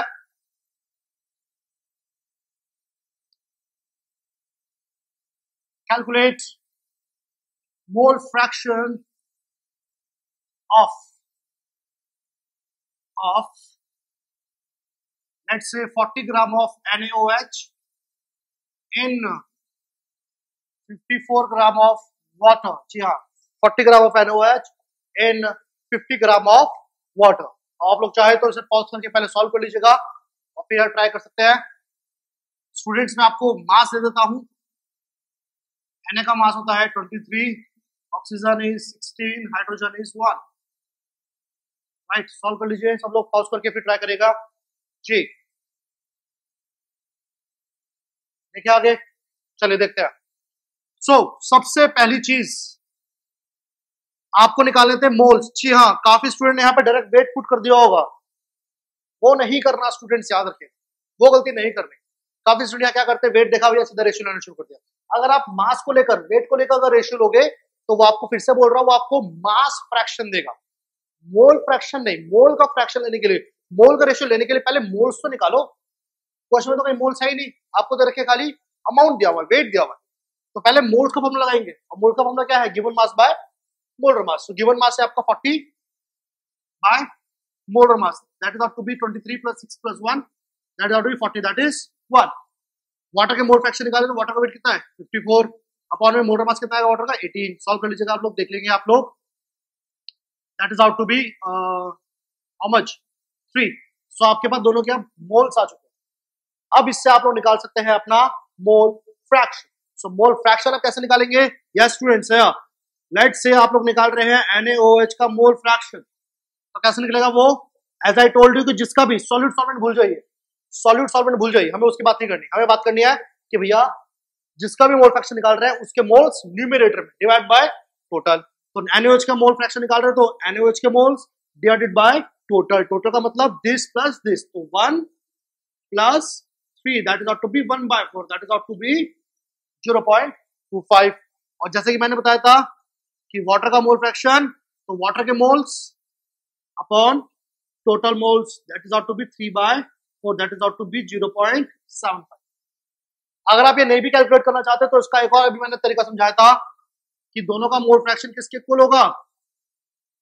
वन के इक्वल होना चाहिए। एक का आपको पता था, दूसरे का निकल जाएगा that is out to be zero point seven five इसको यहाँ के माइनस करेंगे तो ज़ीरो पॉइंट सेवन फाइव आ जाएगा right so this is how we calculate the mole fraction of a particular substance in a solution so I hope mole fraction की कहानी भी आपको समझ आ रही होगी। कॉपी कर लीजिएगा स्टूडेंट्स वीडियो पॉज करके, क्योंकि इसे मैं अगेन रब करने वाला राइट चलिए। अब आते हैं। एक ऐसे न्यूमेरिकल के बारे में स्टूडेंट्स एक ऐसा न्यूमेरिकल जिसके अंदर हम बात करते हैं मोलारिटी मोलालिटी और मोल फ्रैक्शन तीनों कैलकुलेट करने होंगे, अगर एक ही क्वेश्चन में तो कैसा क्वेश्चन आ सकता है स्टूडेंट फ़िलहाल? इसके बारे में बात करते हैं, इससे आप लोगों के कंसेप्ट काफ़ी हद तक क्लियर हो जाएँगे राइट सो क्वेश्चन कह रहा है कैलकुलेट मोलारिटी मोलालिटी और आपका mole fraction of urea solution ये काम करते हैं ऑफ़ ऑफ़ कह लीजिए twenty percent urea solution having density having density 1.25 gram per M G, इतना दे रखा है स्टूडेंट्स चाहे तो वीडियो को पॉज करके आप ट्राई कर सकते हैं बट अगेन इस बार क्वेश्चन की जो लैंग्वेज है, बहुत चैलेंजिंग है। समझ नहीं आ रहा वो देख करके कि सर ऐसा करना कैसे है। तो स्टूडेंट्स ये क्वेश्चन दिया ही इसलिए गया है ताकि आपको समझ आ सके कि ऐसे क्वेश्चन को कैसे हैंडल करना है स्टूडेंट्स तो ध्यान सुनेगा, इस बार स्टूडेंट्स क्वेश्चन में अच्छा एक चीज़ और करेक्ट कर देते हैं इसके अंदर स्टूडेंट्स डब्ल्यू बाय डब्ल्यू दिया हुआ है। क्या दिया हुआ है student W by W weight by weight twenty percent weight by weight तो क्योंकि स्टूडेंट्स तो आप लोग परसेंटेज को जानते हो वेट बाय वेट का क्या मतलब है तो आप काफ़ी हद तक उसके कॉन्सेप्ट को यूज़ करके इसको प्रेडिक्ट कर सकते हो। और फिर भी अगर नहीं करना आता तो स्टूडेंट ध्यान सुनेगा। अब मैं आपको एक बहुत इंपॉर्टेंट स्टेप समझा रहा हूँ और स्टेप को आप हमेशा अप्लाई करेंगे। कब? जब न्यूमेरिकल में वेट परसेंटेज दे रखा है। क्या दे रखा है अगर? मास परसेंटेज न्यूमेरिकल में दे रखा है स्टूडेंट्स तो याद रखिएगा, आपके हमेशा ये तीन स्टेप्स आपके हमेशा ये तीन स्टेप्स कॉमन रहेंगे। पहला step let total mass of solution क्या करेंगे अब लोग स्टूडेंट्स हमेशा? लेट करेंगे किसको? टोटल मास ऑफ़ सॉल्यूशन को that is out to be hundred grams क्योंकि याद रखना परसेंटेज में जब भी कैलकुलेशन करते हैं तो नेट टोटल कितना ले जाता है? हंड्रेड ले जाता है तो यहाँ पर हम वेट भी कितना लेंगे? हंड्रेड ग्राम्स राइट अगर student total solution hundred gram है तो क्वेश्चन बोल रहा है कि उस सॉल्यूशन में यूरिया जो है, वो कितना परसेंट प्रेजेंट है? ट्वेंटी तो स्टूडेंट यहाँ पर उससे अकॉर्डिंग हमको mass of urea mass of urea मिल जाएगा that is out to be 20 grams that is out to be students 20 grams कितना मिल जाएगा 20 ग्राम्स राइट जी अगर मान लो यहाँ पर आपको दे रखा तो 10 परसेंट तो मैं इसको क्या मान लेता 10 ग्राम यहाँ दे रखा तो 40 परसेंट मान लेता 40 ग्राम यहाँ दे रखा तो 80 परसेंट तो इसको मान लेते 80 ग्राम तो whatever the percentage we have उसके अकॉर्डिंग हम इसको वेट को ले लेगा तो याद रखना स्टूडेंट 20 परसेंट बाय वेट का यही मतलब हुआ कि टोटल अगर 100 था तो 100 में से 20 ग्राम क्या है? यूरिया और रिमेनिंग क्या होगा स्टूडेंट्स वाटर रिमेनिंग क्या होगा? वाटर क्योंकि यहाँ पर 20 परसेंट यूरिया यूरिया का फॉर्मूला मैं आपको बताया था स्टूडेंट्स ये इसका फॉर्मूला होता है यूरिया का. यूरिया का फॉर्मूला है ये, ठीक है? तो ये आपको पता होना चाहिए, वैसे तो या तो फॉर्मूला दे रखा होगा, या इसका मोटर जनरली दे रखा होता है, जो कि 60 होता है राइट जी। अब इसके बेसिस पे स्टूडेंट्स यहाँ से हमारे पास वेट ऑफ़ या मास ऑफ़ वाटर आ सकता है। कैसे? टोटल सॉल्यूशन में से अगर यूरिया माइनस कर दे तो वाटर का वेट आ जाएगा 80 ग्राम्स क्या आ जाएगा? 80 ग्राम्स का वेट आ जाएगा राइट सो चलिए अब बात करते हैं आगे की, ठीक है? तो स्टूडेंट्स पहली बात पूछी गई है मोलारिटी अब अगर आपको स्टूडेंट्स मैं मोलारिटी का फॉर्मूला बताऊँ मोलारिटी जो कि मैंने पढ़ाया था कैपिटल एम होता है तो क्या है ये? मोलारिटी का मतलब है students weight of solute multiply by thousand upon molar mass of solute multiply by volume of solution ये होता है। पूरे न्यूमेरिकल में आप देख सकते हैं स्टूडेंट्स वॉल्यूम कहीं नहीं है। ये टर्म हमको नहीं दे रखी इस बार। फॉर्मूले को लिखो, फिर समझो कि भैया ये कैलकुलेट करने के लिए और क्या क्या चाहिए। ये चाहिए ये चाहिए, ये तो ऑलरेडी आ चुका है वेट ऑफ़ यूरिया इससे आप लोग मोटर मास निकाल लोगे, ये नहीं गिवन पूरे क्वेश्चन में। इंस्टेड ऑफ़ वॉल्यूम स्टूडेंट्स क्या दे रखा है इस बार? डेंसिटी क्या दी हुई है? डेंसिटी तो स्टूडेंट यहाँ पर हम लोग डेंसिटी को यूज़ कर सकते हैं। और याद रखिएगा स्टूडेंट्स अगर आप लैंग्वेज को पढ़े तो हैविंग डेंसिटी सॉल्यूशन की डेंसिटी है। तो याद रखना डेंसिटी का स्टूडेंट्स जो फॉर्मुला होता है ना, वो होता है मास बाय वॉल्यूम इस फॉर्मुले को यूज़ करते टाइम कभी भी गलती मत करना, जो कि ज़्यादातर स्टूडेंट्स कर देते हैं। और गलती क्या होती है? कि स्टूडेंट डेंसिटी सॉल्यूशन की है। तो इस फॉर्मुले में याद रखना, जो मास होगा वो भी किसका होगा? सॉल्यूशन का। और जो वॉल्यूम हम रखेंगे, वो भी किसका होगा? सॉल्यूशन का। यहाँ पर स्टूडेंट गलती क्या करते हैं? वो मास किसका रख देते हैं? वाटर का। किसका रख देते हैं? वाटर का, जो कि गलत है भाई। अगर डेंसिटी वाटर की नहीं है तो ऑब्वियस बात है वाटर का वेट रखी क्यों रहे हो? फॉर्मुले में उसी का तो वेट रखोगे जिसकी डेंसिटी है। सॉल्यूशन की डेंसिटी तो मास भी सॉल्यूशन का। वाटर की डेंसिटी होती तो हो सकता है मास भी किसका होता? वाटर का होता, बिल्कुल सही। राइट तो यहाँ पर आपको स्टूडेंट वाटर का ना बात करके आपको सॉल्यूशन का वेट लेना कितना? हंड्रेड कितना लेट करके चल रहे हम लोग? हंड्रेड ये तीन स्टेप याद रखिएगा भाई।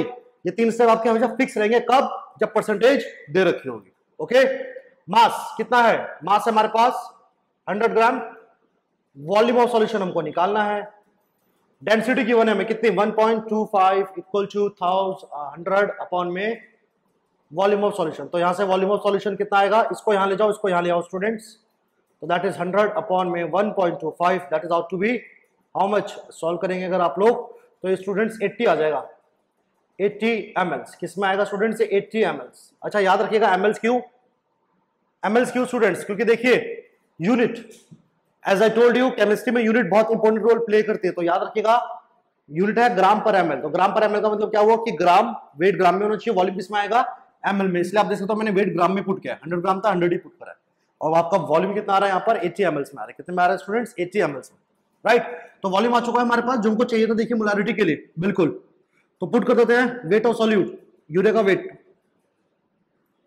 twenty upon molar mass urea का सिक्सटी आएगा।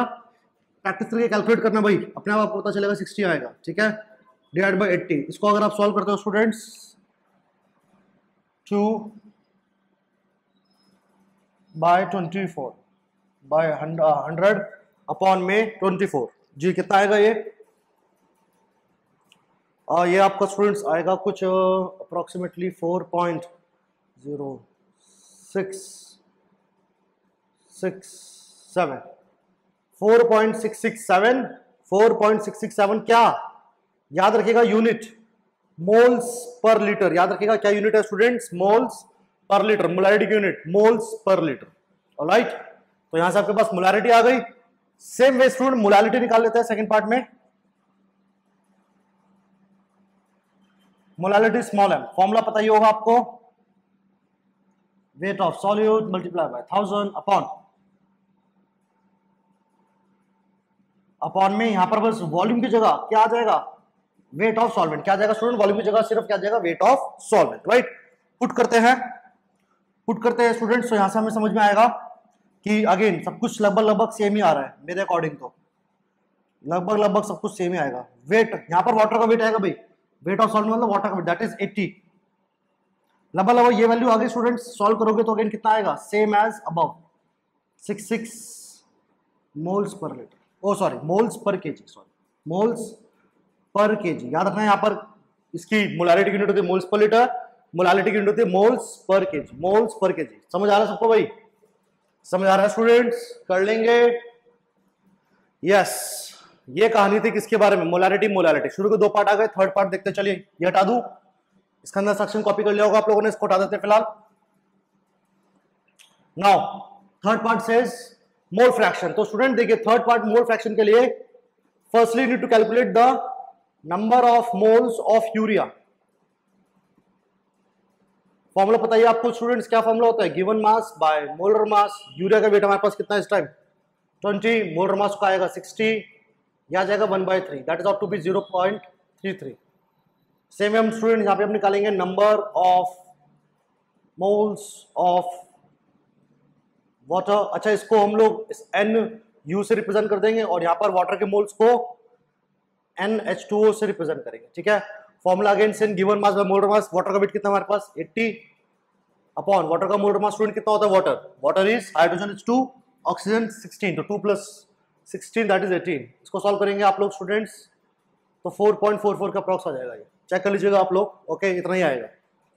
मोल फ्रैक्शन बताया था मैंने अभी आपको थोड़ी देर पहले कि मोल्स का फ्रैक्शन यानी कि मोल्स का क्या लेना है? रेशियो लेना है। और मैंने पढ़ाया था स्टूडेंट्स की जिसका भी आप मोल फ्रैक्शन निकालते हो, हमेशा न्यूमिनेटर में उसके मोल्स रखने होते हैं। बिल्कुल। तो न्यूमिनेटर में अभी आप मोल फ्रैक्शन किसका निकाल रहे हैं स्टूडेंट्स यूरिया का। किसका निकाल रहे हैं स्टूडेंट मोल फ्रैक्शन यूरिया का। तो नंबर ऑफ़ मोल्स में जो नंबर ऑफ़ मोल्स आएँगे फॉर्मूले में, वो भी किसके आएँगे? यूरिया के आएँगे। और डिवाइड कर देंगे टोटल टोटल किसका? यूरिया प्लस वाटर क्योंकि सॉल्यूशन इन्हीं को मिला करके बनाया गया है राइट 0.33 अपॉन 0.33 प्लस प्लस 4.44 ये आपका स्टूडेंट्स बन जाएगा चेक कर लीजिएगा आप लोग calculation 4.77 that is out to be how much that is out to be